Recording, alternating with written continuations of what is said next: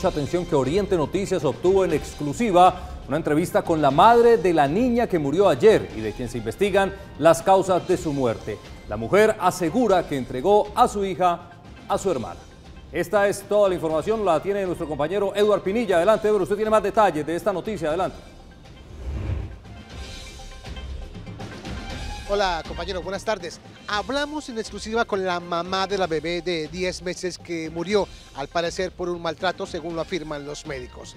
Ella asegura que había entregado el cuidado de su hija a su hermana por asuntos económicos.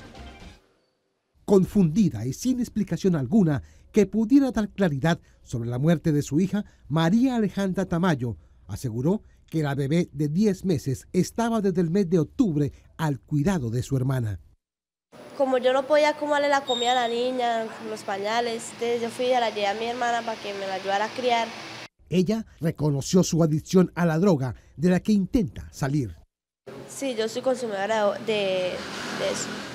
Pero yo pienso, ya que mi hija está muerta, buscar trabajo, salir adelante por mi otra hija.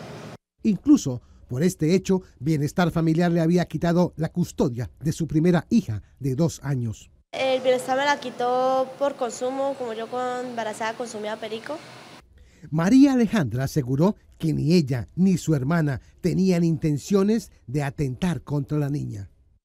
No, yo, yo como madre no lo haría capaz de golpear a mi hija. Que, que revisen a mi otra hija si yo la golpeaba o le pegaba, no nada.